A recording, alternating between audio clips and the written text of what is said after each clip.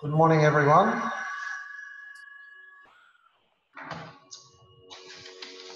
Lots of hands waving. Great to um, see you all this morning.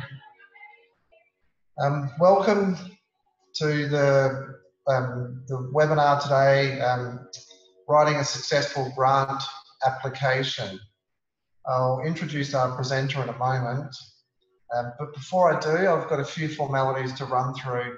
Firstly, I'd like to acknowledge the, the traditional owners of the various lands on which we work today and the Aboriginal and Torres Strait Islander people participating in this meeting and webinar. I pay my respects to elders past, present and emerging and recognise and celebrate the diversity of Aboriginal peoples and their ongoing cultural and connections to the land and waters of Australia. Today's webinar will be uh, recorded and made available on the website. So please make use of it after today's session. We also have another a number of other sessions coming up to do with the co-investment fund um, and the Parks 2025 initiative that the Department of Environment and Water are moving forward on. In terms of meeting protocol today, please um, keep your microphones on mute. I very much encourage you to use the chat. Um, and please um, make comments and and make and ask questions on the chat as well. And I'll ask um, our presenter to keep an eye on the chat, and I may even come in um, during the presentation with different points that people are raising. Because if we can deal with questions and comments whilst um, Keith is presenting on different areas, it's probably a better way to to um, to progress. So the session today, um, I'm delighted to present um, Keith Whelan, the grants guy. Um, I love your branding and I love your um, the way in which you present your business, Keith. Um, Keith presently works uh, works sourcing grants and funds for both public and private sector across Australia.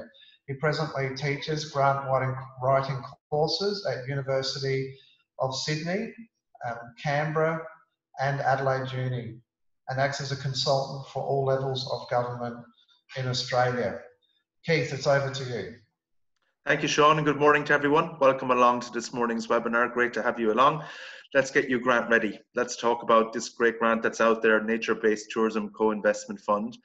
Some of the do's and don'ts, what you should do when you step your way through this grant application, what's expected from you as an applicant, and certainly the work you need to undertake before you even put in the application and the work you're going to be expected to do during and after the application in terms of acquittal, auditing, and evaluation as well. As Sean said, please feel free to use the chat room. I'll try and get through those questions as best I can today as well.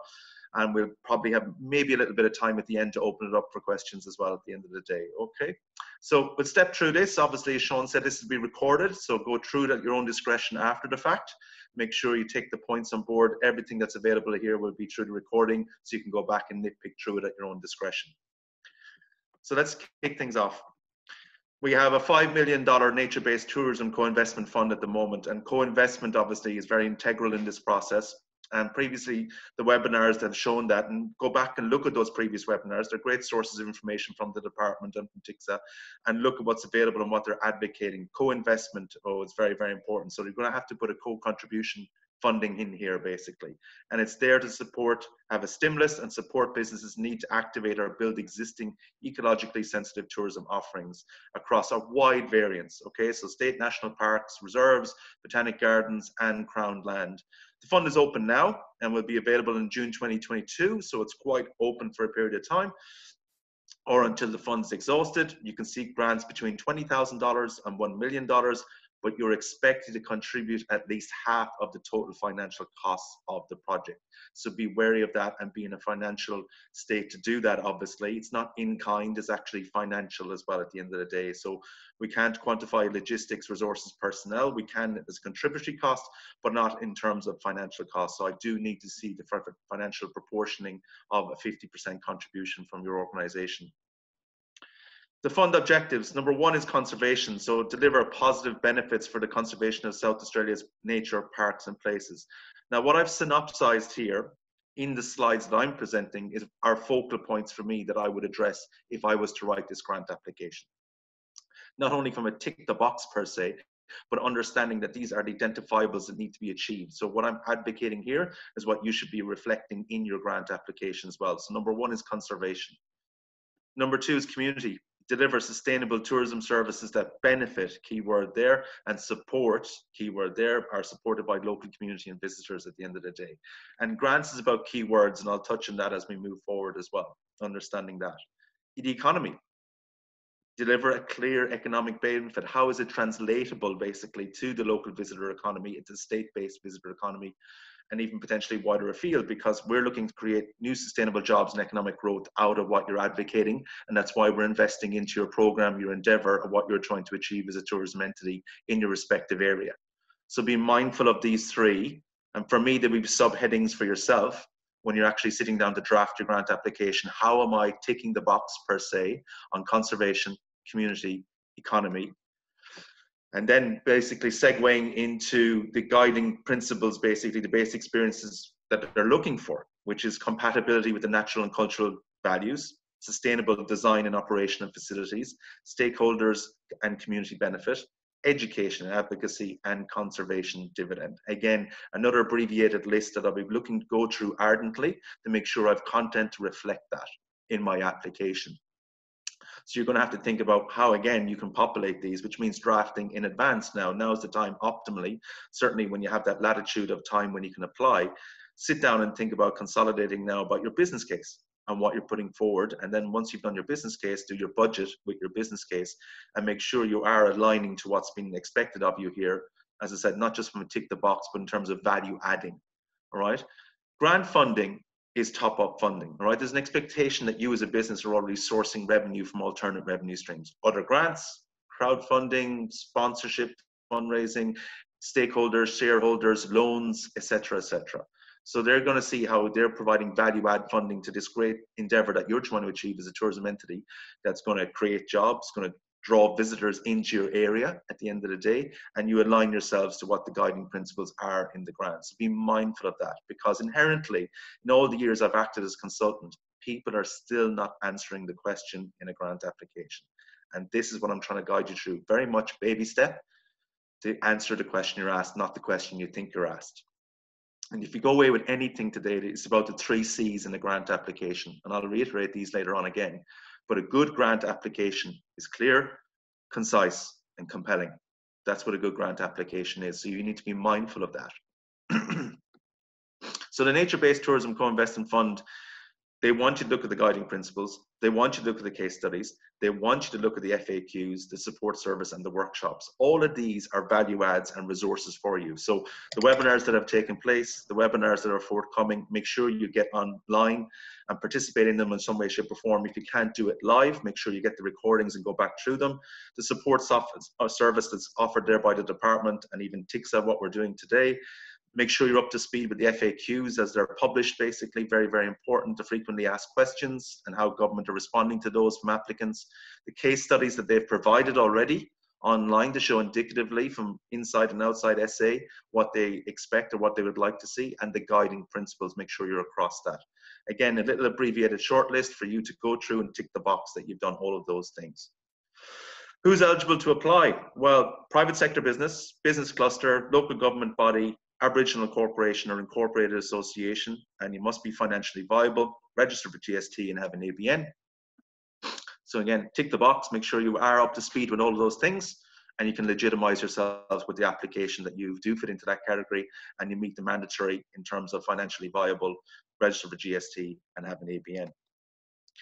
So it's quite wide and varied, basically, where the activity can take place. And I've just tried again try to synopsize it here in this slide basically. And there's a huge scope here. And you really need to look at the variance across the board and where you can fit into your project and where your project can fit into geographically and demographically within SA. So it's quite wide and varied, but be particular to your own service capability your own experience of delivering into these areas geographically of what you've done in the past to the great value that you've provided basically not only for the tourism economy but obviously for the wider economy and for government of SA overall and whatever relevant government department you've worked with. But again, quantify and qualify everything you're doing. Writing a grant is about making a statement and backing it up. And certainly as a grants assessor, I love tangible stats and facts and data, which means you need to reference government reports. You need to work with TICSA and SATIC and look at other agencies that can support your application and what's happening out there. What is the narrative around tourism in SA? And how you're incorporating that in your application.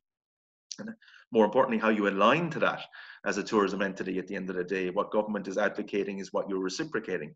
So you really need to think about, well, I have experience in these areas, I'm going into these areas. And certainly if you want to branch out and be a newbie per se and go into these areas as a first time, you're really going to have to validate your application as to why you're going into this area now.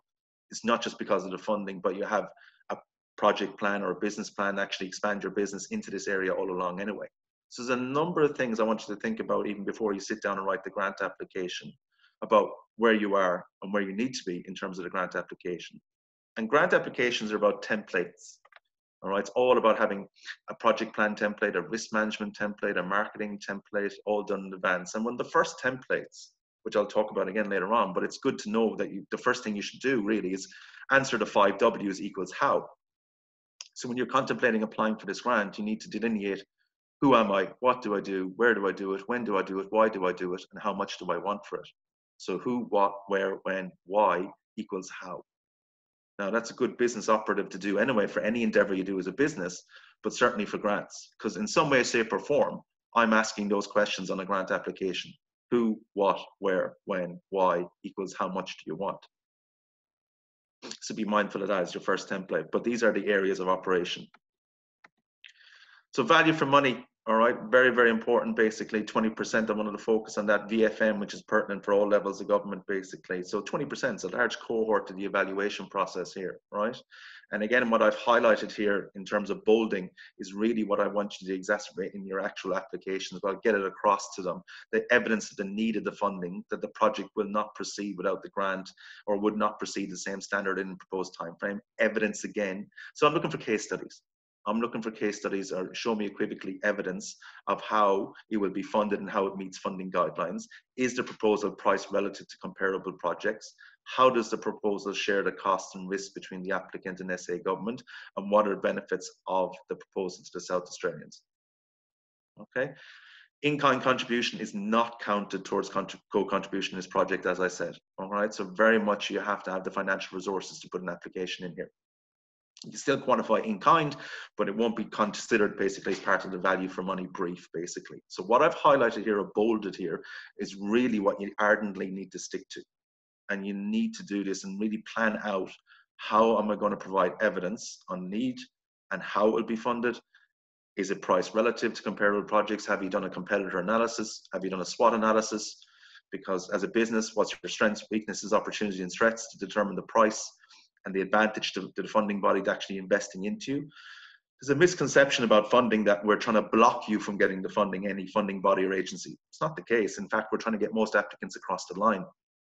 So you need to be mindful of that. You need to be mindful that I'm there to help you, but quintessentially still, it's about answering the question and provide value because investment, the grant is an investment, not a gift. It's not a handout. So again, at the end of the day, it's about ROI and KPIs, return on investment, key performance indicators. You got to show me measurables. You got to show me benchmarks. You got to show me that you are the right organization and you're selling yourself because a grant application is a sales pitch. Okay. And do you know how to sell yourself as a business to get that grant? Which is a quintessential question you're going to have to answer. Okay.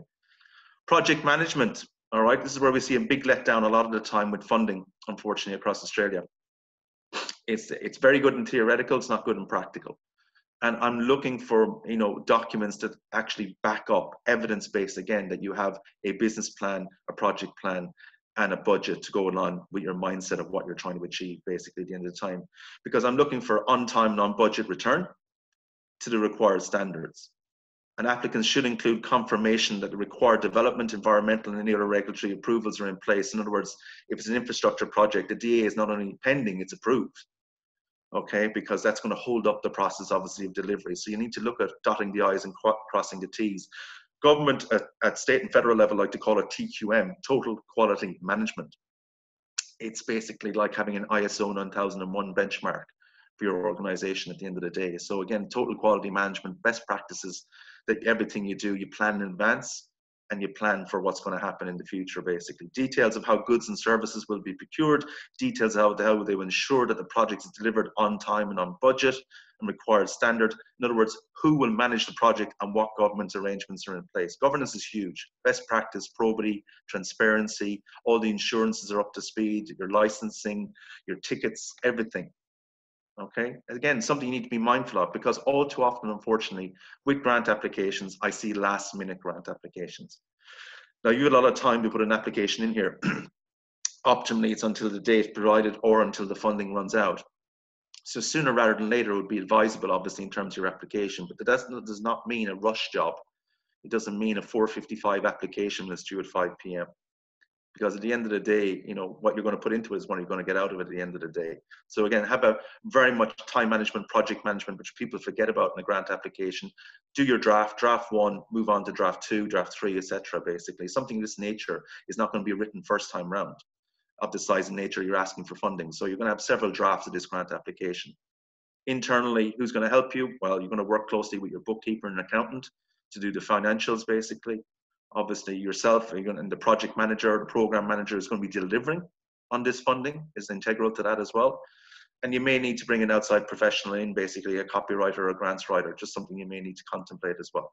Okay, so again, you you think about this as a process, not just as an application, because again, I want you to be playing the medium to long term game here. This is not the only tourism grant application you're ever going to apply for. So I want you to learn from this and learn what's expected and wanted from government, and rightly so, and what you should be having as a grant process in your business because there are other tourism grants that you should be applying for, being in the sector that you're in. Okay, and that's across both local, state, and federal government, obviously.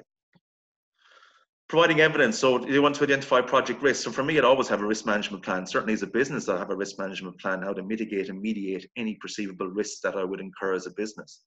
So you need to identify project risks that you would envisage. Now, grants are given for solutions, not problems, which means I don't mind you identifying the problems, but I'm very impressed that you identify solutions, how you combat the problems, because then I can give the money for the solutions. People unfortunately focus on a grant application where it's all about problems. I have to give you, you have to give me the money because there's a problem, problem, problem. And we know there's problems there because of COVID-19 and what's happening with the economy and the visitor economy and the restrictions that are there. And I appreciate that. But at the same time, I give money for solutions, not problems, which means you need to highlight the problem to maybe 20 or 30% value. But I'm more interested in solution because that's the investment opportunity. You need to think about your grant application like that. So with project risk, applicants must provide details on the key risks of their project, and how you're going to mitigate them or mediate them, and the management strategies in place for the life of the project to actually mitigate or mediate them and provide at least three risks. You need to envisage there are three risks basically to this project, and again, how you're going to mitigate them and mediate them. Articulate organizations do that. Maintaining project benefits. Applicants should outline an operational needs of the project into the future, a strategy what I've been talking about all the time, a strategy or a template to manage the project and how they will maintain the ongoing viability of the completed project. Beyond the lifespan of the funding, beyond the duration of the grant, how you're going to absorb those costs, those running costs, those overheads, how you're going to keep it going. Because last thing you want to do, either for you or government, is capitulate after the end of the funding. So you need to think about two things really with grants, always, not just applicable for this grant, but all grants, innovation and sustainability how you're innovative in terms of what you're bringing to market hasn't been necessarily seen before in these areas or even in SA. And you're sustainable beyond the lifespan of the grants funding round. And you're sustainable as an organization. You're going to be here in three years and five years moving forward as an industry leader within tourism. So you need to be thinking about that because, again, you need to be selling that. As I said earlier on, it's a sales pitch. You need to be selling that ardently, all right, in your actual application. So have a business plan. And if you have a business plan, look at it now and seize it up to speed. Seize it where you need to be in terms of your application, basically, because your business plan certainly needs rejuvenation from what it was pre COVID 19 to what it is now, and how practical and applicable it is in the current circumstances, not only for now, but in the next six months, next 18 months. So the expectation is when you write a grant, you're extrapolating from your business plan and your project plan. Now it's not, it's utilized, not plagiarized, right? So it's not copy and paste. Right, let's clearly distinguish that. You're utilizing the content already in your business plan because you've already mindset of what you want to achieve as a business and you're always looking for funding for that at the end of the day. So there's an idea, ideology from a funding body that you've already contemplated through your own SWOT analysis or business development or strategic planning what you need to do for your business, which means it's in your business plan. Then you'll be extrapolating from your business plan to show indicatively you need funding. So make sure your business plan is up to speed before you do this application. Make sure your project plan is up to speed before you do this application. The project's particular for what you're seeking funding for. Now, for me, a project plan, um, you know, it's it's basically a one a one thousand word overview, basically, of what you're doing. A more elaborate version, shall we say, of that original template: the who, what, when, where, why with a project title that's 10 to 20 words, basically a you know a project description and a project outline. So optimally two to four pages, nothing more with a budget, and that's it. And, and, you need to stick to that template and make it practical for you. Okay, capital expenditure, your budget, and this is where it's obviously going to be won or lost per se a lot of the time, where you're competitive or perceived to be competitive in terms of your pricing. Obviously, you've up to 50% here that you have to put in as a contribution for yourself as well you got it's got to be seen as a sound investment, a viable investment, a good commercial investment, and really good return on investment. So you've got to be thinking not only in terms of numerics and the figures, you got to be thinking about how I'm looking this in terms of the investment against those categories because value for money is distinguished in many different ways. And I've just given through a number of ways that it's been distinguished already by the department and what they're looking for basically in terms of value for money. Your biggest issue in terms of writing the grant is time and capacity time to write the grant and capacity to deliver the grant. This has been the age-old bugbear of everyone, basically, from both sides of the funding narrative, from the funding body and from the recipient of the funding. Be very mindful of what you're saying you can do and how you're going to do it, unless you have those, you know, services in place to do that.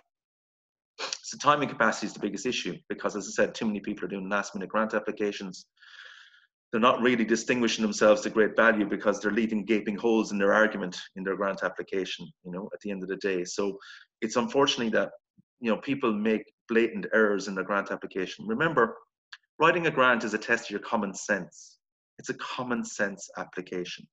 People think it's a test of their dickensian or shakespearean language skills. It's not okay?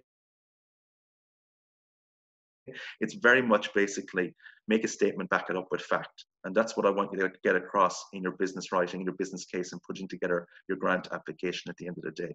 Okay? It's a very matter of fact document. It needs to be practical, it needs to be living, it needs to be purposeful. So as I said, to reiterate again, clear, concise, compelling, or short, succinct, and to the point, that's a good grant application. That's what I want to see at the end of the day. Okay? Which means drafting, editing, proofreading before you put in your grant application understand what's expected of you at the end of the day because as much as we talk about the three C's, I'll talk about the three R's, which are research, relationship, and reporting. Okay.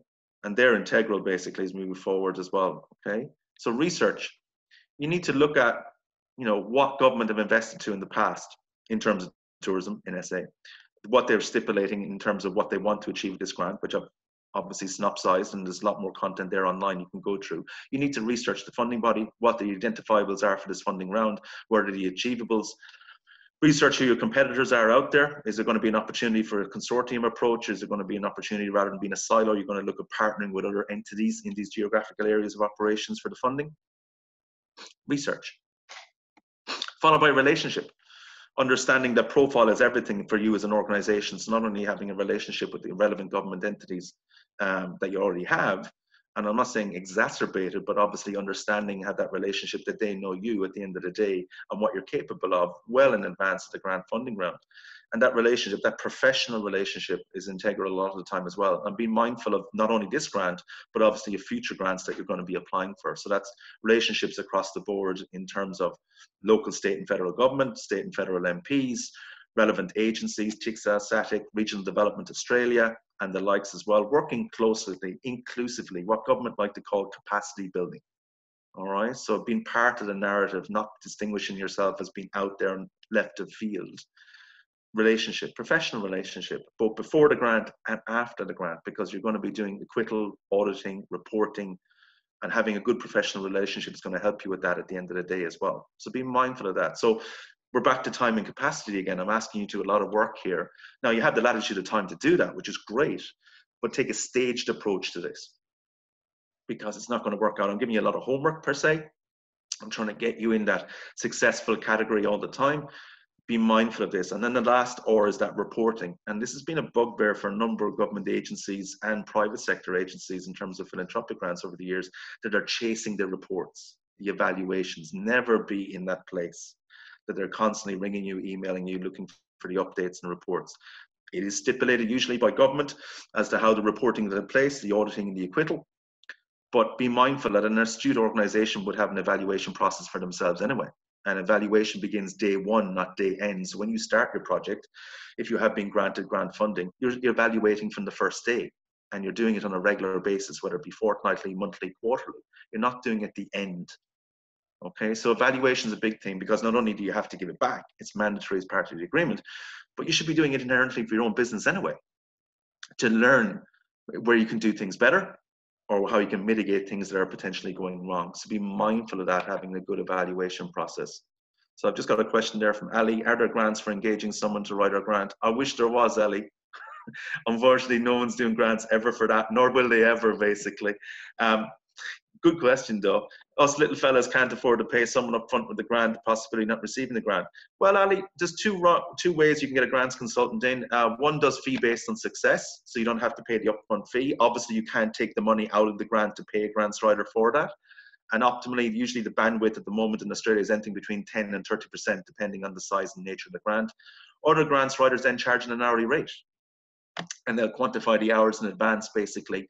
They'll say it takes going to take so many hours to review this grant or draft this grant. Some grants writers will write the whole thing for you. Other grants writers say write the first draft send it through to me i'll edit proofread it etc and then you're only paying an hourly rate. So i think there's still options for you there ali in terms of being cost effective okay? Moving on. What's required from your applicant?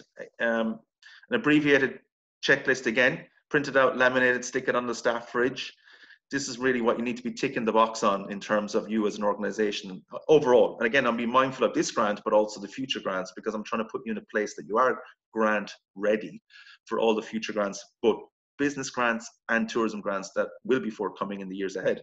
So you need to be capacity building within your own tourism sector, both geographically, demographically, in the sector overall within SA.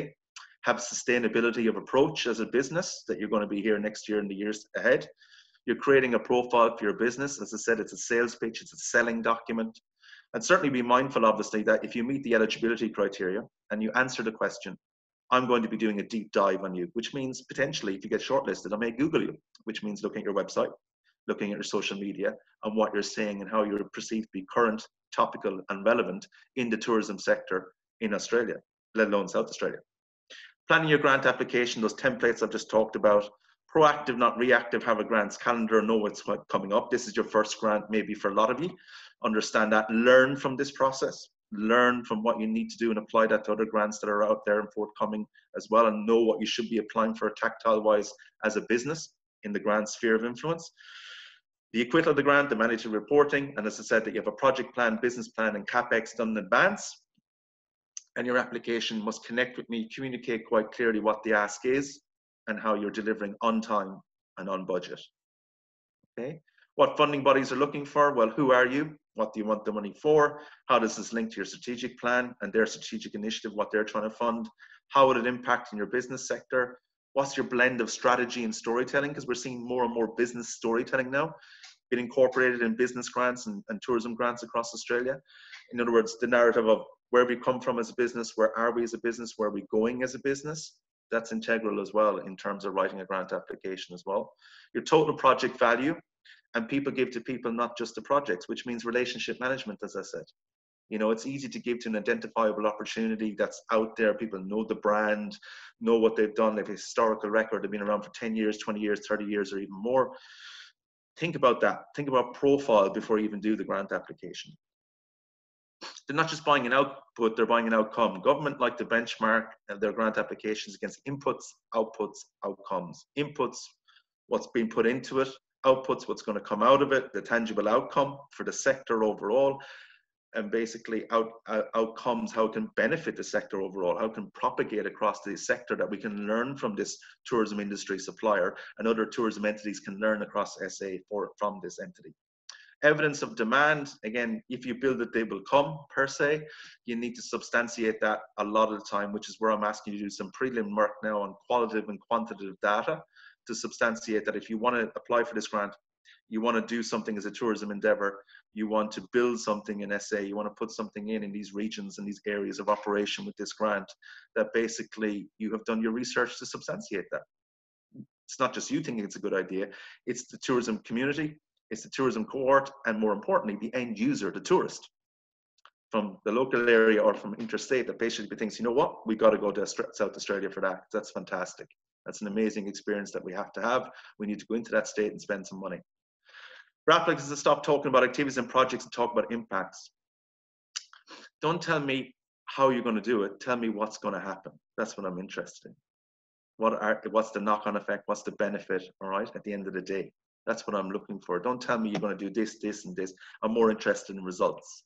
Okay, you're going to step me through that. I'm more, interested in what's going to happen at the end of the day. Okay, don't be matter of fact about bringing me through the process you can definitely allude to that, but I want to see what the impact's going to be. What's going to happen? What's the investment opportunity? Okay. So your grants checklist are the grants for us? Well, there is because we're just here to talk about one today. So that's the first one. And you need to think about that and what you do here is translatable for other grants that you're moving forward. Are we eligible? Very important, obviously. Know what grants are available then from that at the end of the day. Making a submission, doing the drafting, the editing, the proofreading, doing the work, delivering on the grant, being a successful recipient and the reporting and the acquittal. A very synopsized checklist of what you need to do as a grants process now for your business overall, but this is what's needed.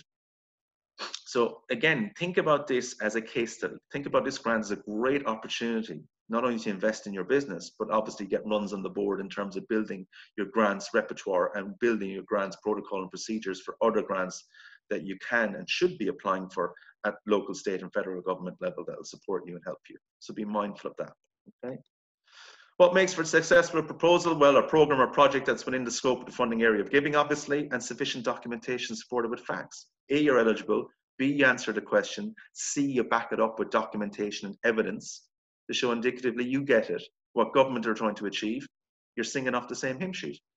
There's a synchronicity of approach you know you're working with government on this and what they're trying to achieve for tourism in south australia at the end of the day okay very very important the issue for you obviously is to make that viable in a clear concise and compelling fashion which means drafting drafting drafting all right again and using key words which are important basically and that, that means positive language as government like to call it basically government talk about positive language, you know, key phraseology, yeah? So that's about words like effective and efficient and innovative and sustainable and agile and robust.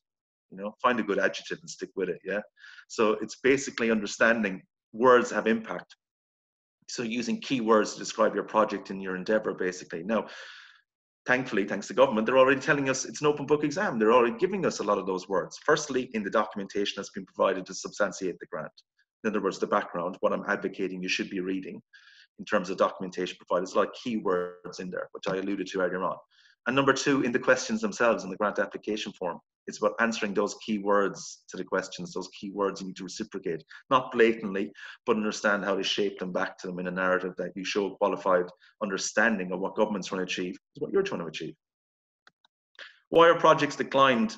I could have spent the whole hour on this alone, to be honest with you but I've tried to synopsize this on two slides, which is kind of hard. Um, but I've tried to do my best I can in terms of why we knocked them out of the ballpark in round one. And these are some of the blatant reasons why people haven't hit the mark. Hasn't been documented properly, failed to grab the reader. You know, as a grants assessor, I need to be excited by it. I really do. I do need the wow factor. I do need to have an interest point in going, this is really a great investment opportunity here. I need to invest into this. Client groups haven't been involved in planning and determining. You either haven't talked to government about the project, you haven't talked to other local entities about the project.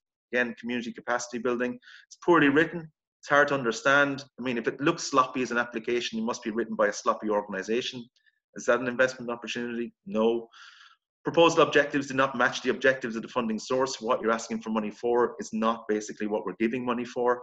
Proposal budget's not within the range. You're asking for too much money you haven't coordinated with other entities, you haven't built that relationship management piece with the relevant government entity. Funding source does not know your capabilities because, again, you haven't talked to me in advance or you haven't profiled that on your social media or on your website or through your business plan. Project activities are too ambitious in scope, didn't follow the guidelines, insufficient evidence the project can sustain itself beyond the life of the grant, and evaluation procedures inadequate. As I said, it's very hard. We're trying to still chase evaluations all the time, every time. It's not where you want to be. So be mindful of these, okay? And understand where you need to be in terms of that as well. All right. What's the most common mistake? I, I can't believe I'm still saying this in 2020. Answering the question. That's the most common mistake. People interpret the question basically going, oh, that's what, no, that's not what I mean at all. so seek clarification. Use the resources that are. This is where the FAQs come in helpful. If you if you feel that you, there's going to be a misinterpretation on your behalf of the question, seek clarification from the funding body say, what does this question mean? Can you break it down for me? What are the identifiables in this question at the end of the day? It's answering the question. That's where people struggle the most all the time, every time, because they have certain interpretations of what the question is or what it means, and it's not that at all. And they go off on a tangent and they completely lose focus in terms of what they're writing and need to bring it back on point every time basically. And unfortunately people go off. And they waste characters and now you know certainly it's an online application. It's not about wasting words anymore. It's wasting characters online characters.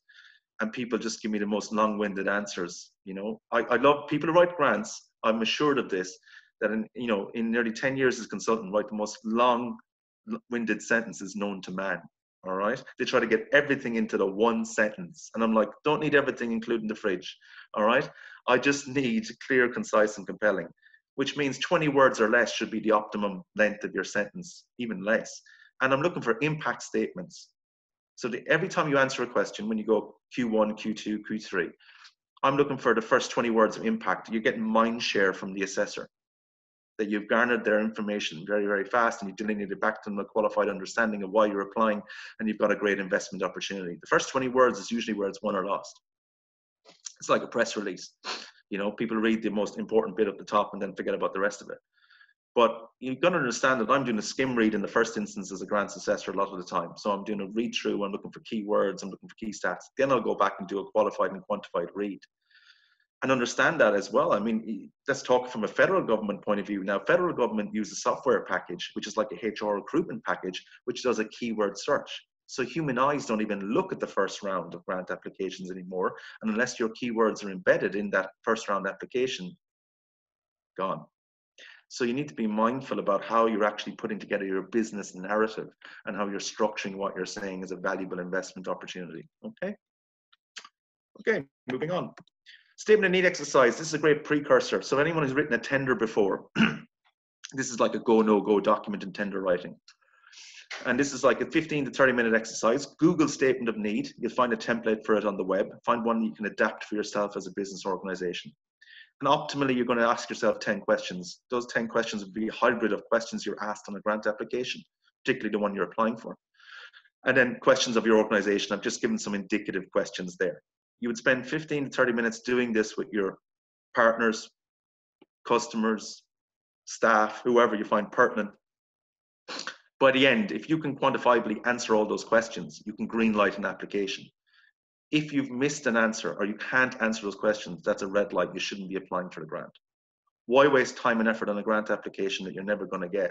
You know inherently you're not going to get when you can do a 30 minute exercise instead to understand where you need to be and what is the expectation in terms of the grant's funding body. Because it's not what you want to achieve, it's what the grant's funding body wants to achieve and how you match that. That's what I'm testing you on.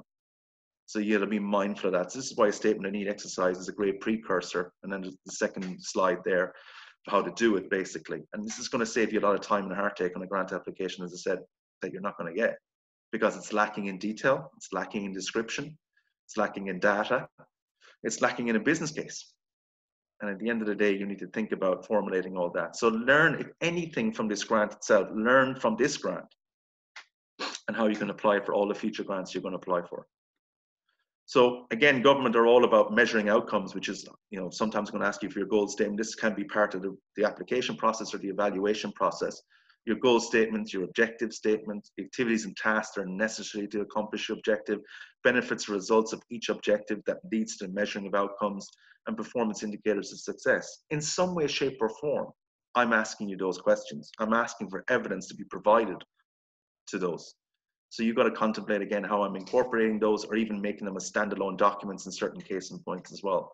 So be mindful of this. All right. They're really testing you on how articulate you are as a business, that you have business processes, you have business evaluation, you have very good inclination of where the market's going and where you are perceivably a market leader in your sector. That's what I'm testing you on at the end of the day. Now, most ardent business, articulate businesses will be more than happy to answer those questions because they've already contemplated that and they know where they are in the sector. Okay. Another question. Oh, thanks, Tanya. Appreciate it. Save the compliments for the end, folks. Still got more to go through. All right, moving on. Oops, so I'm looking for return investment, yeah? In some way, shape, or form, basically, I'm looking, and they've already outlined, basically, at the end of the day, the return investment that I'm looking for. Okay? what they want to see happening in the tourism sector in these areas. Make sure you align to those. Okay, very, very important in that regard. And again, key performance indicators, how you're optimizing what your ask is. What's your strategy? What's your performance as an organization? How are you evaluating what you're doing? How do you define success? That's a question that's become very pertinent and relevant for a lot of grant applications now. How, you defi- how do you define success in this sector? How do you define success as an organization? What's your objective as an organization? How do you measure everything that you do? key questions that I'm expecting you have undertaken as part of your business process already as a business. Okay. So be mindful of these things because I want you to be mindful not only for this grant, but future grants basically. In some way, shape, or form, I'm looking, I'm basing questions around these. Okay. And I'm basing obviously the optimum question, which is what's your unique selling point or what's your point of difference? And, you know, this is about sales, as I said. You know, don't think it's in, as I said, it's an investment, not a gift. So I'm really, you have to distinguish how you're better than anyone else in the market, or how you're comparable at least everyone else in the market in terms of tourism and in South Australia, basic. But I want a unique selling point. I want to back you. I want to invest into you. And you've got to give me a really good rationale, rhyme, and reason through a USP or a POD, point of difference, as to where you stand out from the crowd and how you are amongst the elite or amongst the best tourism providers basically in South Australia.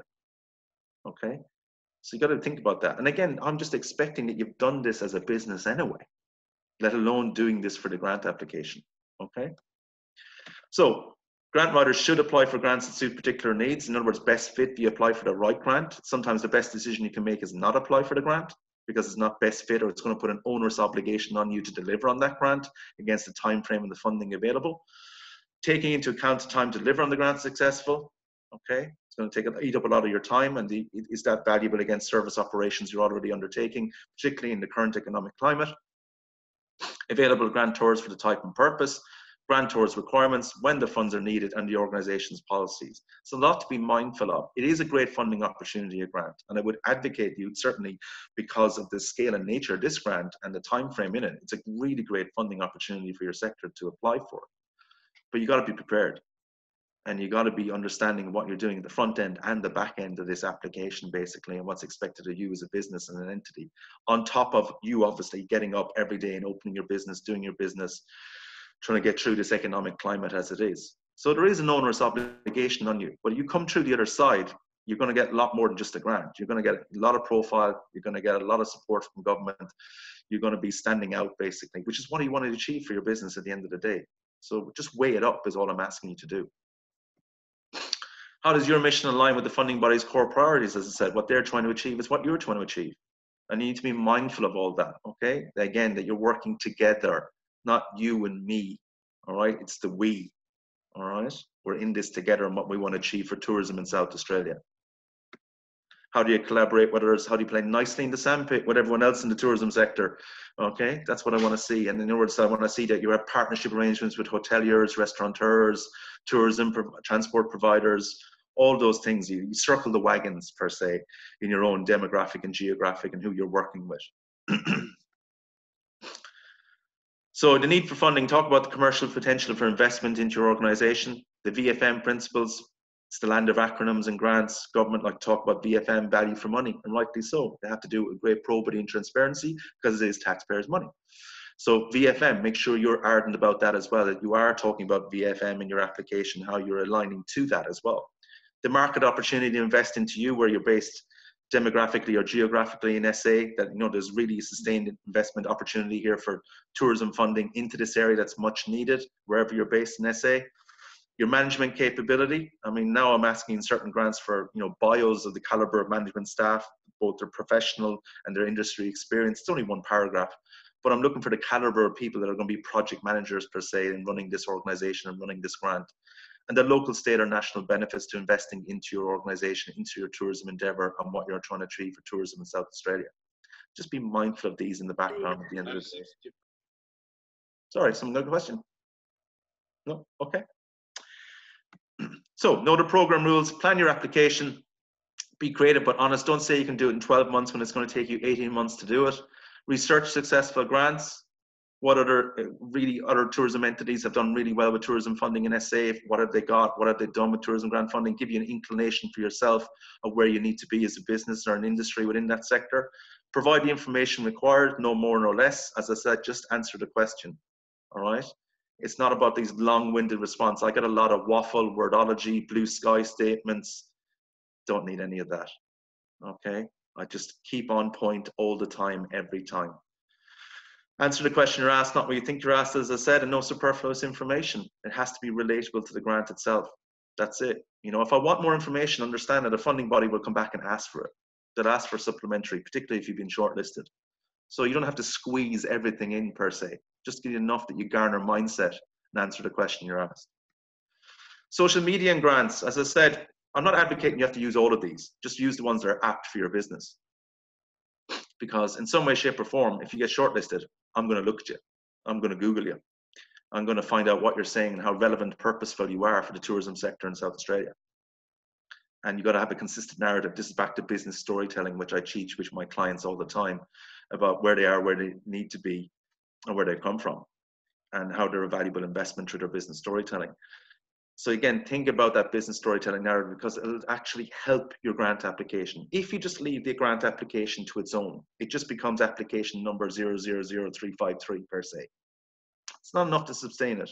You need to look at what you're doing around it, the circum, you know, circumventing it really, and what you're doing really with before and the after. The after is the evaluation, the acquittal, you're ticking the box. The before is the marketing narrative that you're an industry market leader. Okay. So telling a story, painting a picture with words, that's what you're doing a grant application. Don't do last minute grant applications, please. I beg you, just on behalf of anyone who's assessing this grant application, that appreciate you optimally get it in ahead of time, if not on time, but don't try and do last minute ones. Be proactive rather than reactive. Have a grants process, a policy or procedure in your business from now on, how you're going to tackle and manage grant opportunities and grant applications. People can only help you if they know you exist. Profile, profile, profile. Back to the previous slide of what I was saying. And cultivate that relationship with the funding body well in advance of a grant funding round. As I said, your first template who are you? What do you do? Where do you do it? When do you do it? Why do you do it? Which is now integral more than ever before. And how much do you want from it? Why are you in the tourism industry? Why do you do what you do?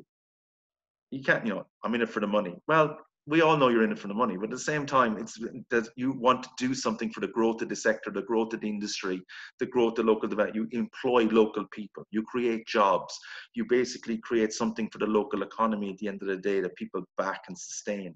And you're a sustainable business. And that's what I want to hear at the end of the day. You are that business, you are that industry. Okay. So talk about an investment rather than a gift. Avoid dwelling on problems, focus on opportunities, as I said, and find a realistic assessment of the urgency. I know you needed the money yesterday, particularly in the current climate, but obviously this could take a couple of weeks before we actually dispense the funding. Don't do anything that's null and void, in other words, retrospective. Don't start the project until you get the funding or sign the funding contract. So be wary of that, obviously, as you move forward at the end of the day. Okay. Now, this is one of those project plans that I talk about. I use about four or five myself, and I advocate four or five of my clients when I work with them on grants and this is one that I want to share with you basically, which is a project title less than 10 words. But even in my summary, I'm very much adhering to the word count that is going to be prescribed to me in the grant application. So I'm limiting my summary even to 100 words. And in that 100 words, I'm delineating the purpose, the scope, the people, the financials, the timescales, the risk and implementation of my project that I'm seeking funding for. Because then my full project description is thousand words. And in a thousand words, I must delineate the aim, the description, why it came about as part of a larger project, what the funding will be used for, the timeline activities, who will be involved in developing, delivering the project, and the strategic value of the project. So shape this, do this for yourself as an internal document before you do the external document of the grant application when building your project that you're seeking funding for. Okay, if you've got a template already, fantastic. Kudos to you. Well done. All right, keep using that. But I just wanted to share that one with you basically. So again, think about project title, project summary, and full project scope. All right, and scope of works. Now, the seven principles or the seven commandments, as someone once said to me basically in grants, this is from federal government, but I think it's very, very good. These are the seven principles of Commonwealth Government Grants Administration. And I think this is applicable for any grant that you apply for across Australia, no matter what sector you're in. If you stick to these seven, it'll be received Uh, and received very well by local, state, or federal government in terms of an application. That you tick the box on robust planning and design. And you can see how much in Canberra they love the words effective and efficient that I've underlined them.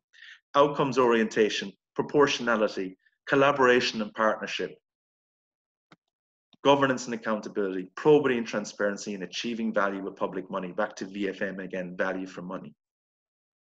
If you go through these seven, you're going to do quite well in a grant application and you delineate these seven in a grant application and you show you match and align to this mindset government are going to like you for it. And look it's best practice. I think it's fantastic. I think it's really good that government have distinguished that because certainly as a business even that's what i'd like to align myself for and that's what i am aligning myself for as a consultancy business basically to these mantras and these principles and what i'm trying to do for my clients and my customers.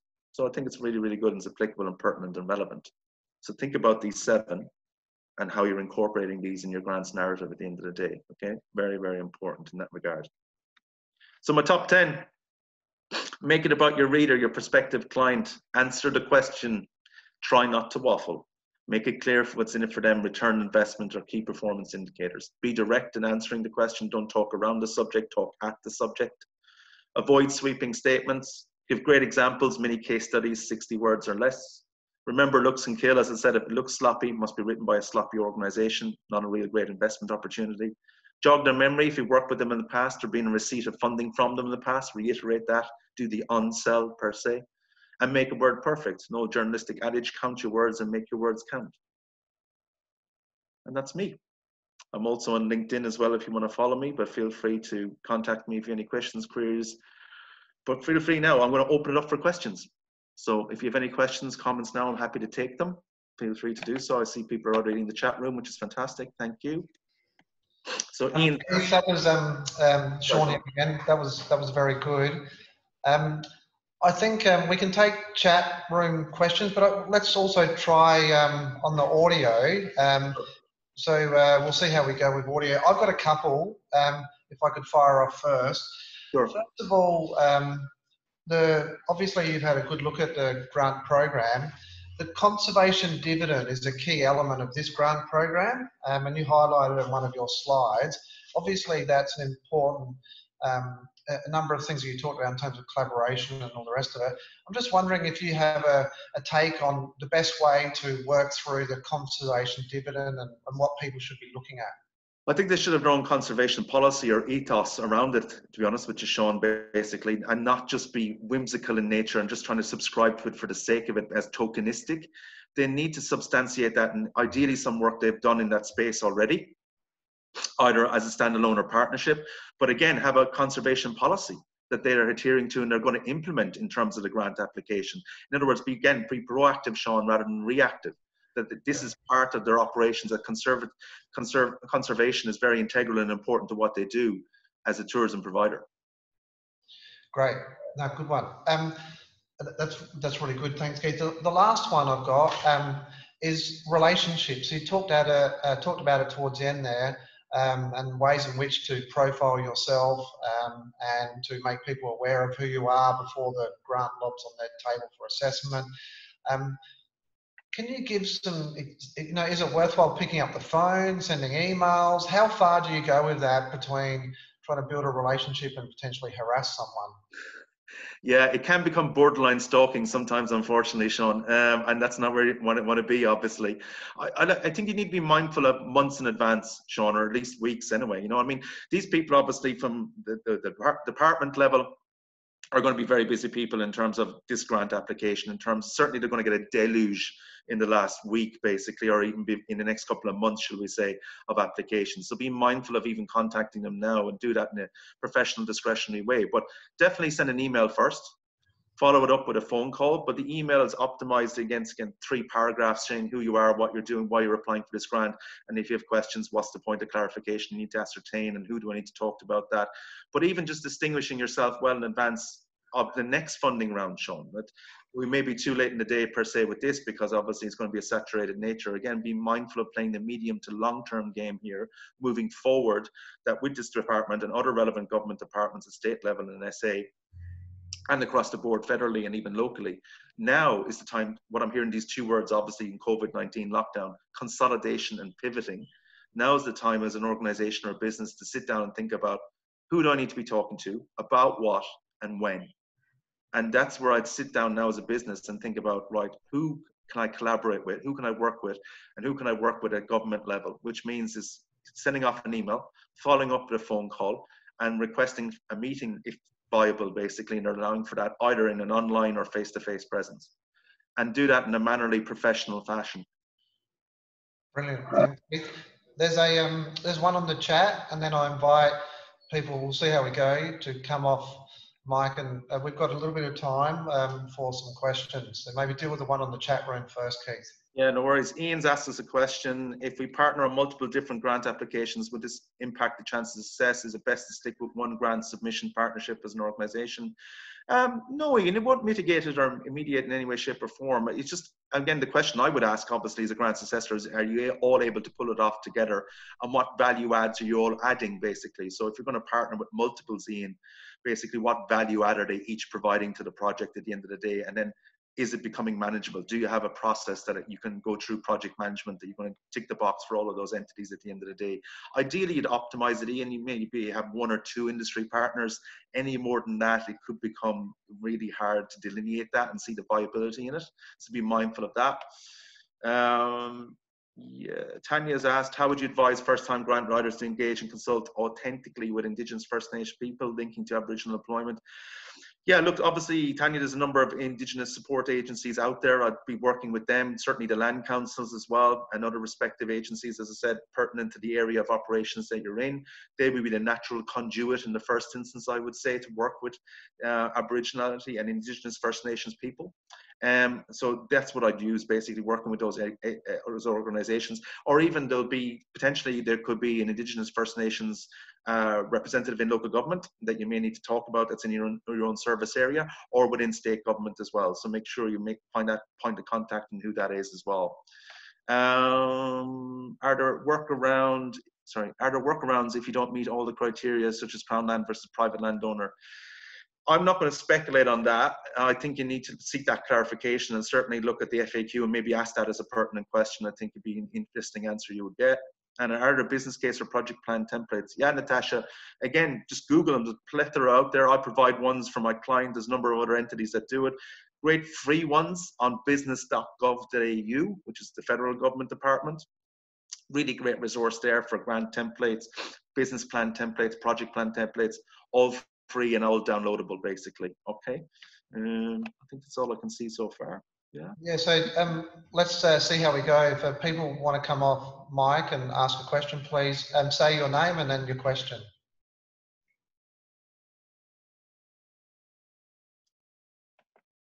Anyone any questions? Want to pick my brain? Otherwise, I can do some Riverdance Norris jokes, Sean. But you know, I ain't what it used to be. I'll just promise you that in advance. You know.